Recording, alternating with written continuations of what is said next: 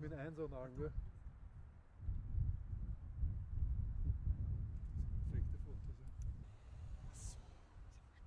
Schau da.